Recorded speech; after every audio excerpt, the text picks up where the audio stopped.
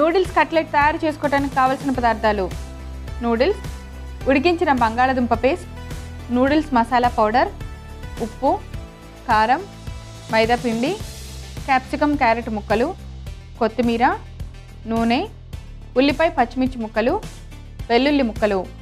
Noodles cutlet తయారు చేసుకునే విధానం. ముందుగా స్టవ్ ఆన్ చేసి పాన్ పెట్టి నూనె పోసి కొద్దిగా వేడెక్కనివ్వాలి. తర్వాత అందులో సన్నగా కట్ చేసిన ఉల్లిపాయ ముక్కలు పచ్చిమిర్చి ముక్కలు క్యాప్సికమ్ క్యారెట్ ముక్కలు వెల్లుల్లి ముక్కలు సరిపడంత ఉప్పు వేసి కొద్దిసేపు వేయించుకోవాలి. అవి బాగా వేగిన తర్వాత దానిలో నూడిల్స్ వేసుకోవాలి. అవి కొంచెం ఫ్రై అయిన వెంటనే సరిపడినంత కారం నూడిల్స్ మసాలా కొత్తిమీర వేసి బాగా కలుపుకోవాలి.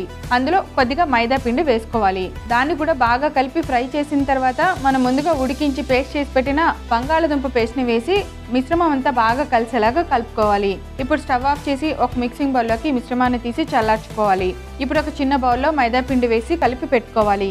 ఇప్పుడు స్టవ్ ఆన్ చేసి కడాయి పెట్టి నూనె పోసి వేడి చేసుకోవాలి. ఈలోపు మనం తయారు చేసుకున్న ఆలు మిశ్రమాన్ని కట్లెట్ లాగా చేసుకొని నీళ్ళలో కలిపిన మైదాపిండి మిశ్రమంలో డిప్ చేసుకొని ఒక ప్లేట్లో నూడిల్స్ వేసి దానిలో రోల్ చేసుకొని వేడెక్కిన నూనెలో వేసి డీప్ ఫ్రై చేసుకోవాలి.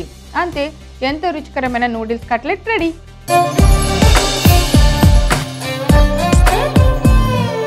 ఇప్పుడు యూట్యూబ్లో ఈటీవీ అభిరుచి ఛానల్ ఉంటుంది. దాన్ని సబ్స్క్రైబ్ చేసుకోండి. మన ప్రోగ్రామ్స్ అన్నీ మీకు వీలైన టైంలో చూసుకొని చక్కగా ఎంజాయ్ చేయండి.